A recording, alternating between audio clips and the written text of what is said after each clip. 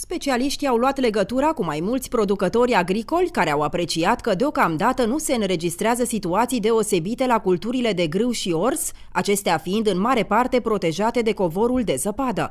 Probleme pot interveni în zonele în care viscolul a lăsat culturile descoperite.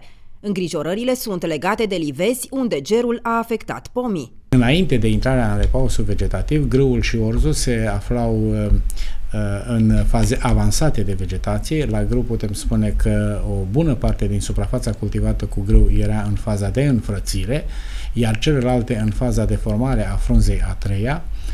Uh, putem vorbi însă de o intrare uh, foarte bună în perioada de iarnă a culturii de rapiță de toamnă, unde aparatul foliar era cuprins între 7 și 12 frunze, uh, deci există premizele ca perioada de vernalizare să, să fie trecută în condiții foarte bune și premizele pentru obținerea unor producții bune în anul agricol 2016-2017 să fie asigurată încă din acest moment.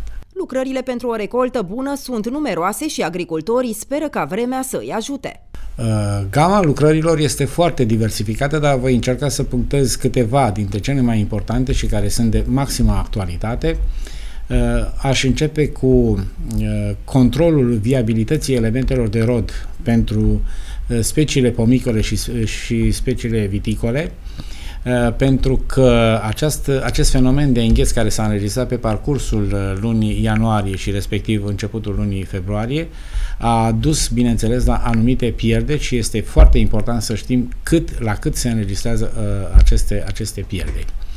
Uh, după aceea, cel, o lucrare foarte importantă este administrarea îngrășămintelor pe bază de azot.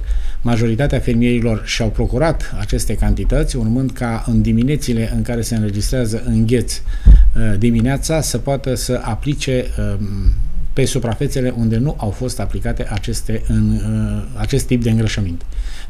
Specialiștii recomandă controlul biologic sistematic pentru determinarea viabilității plantelor la culturile de toamnă și a elementelor de rod la speciile pomi viticole.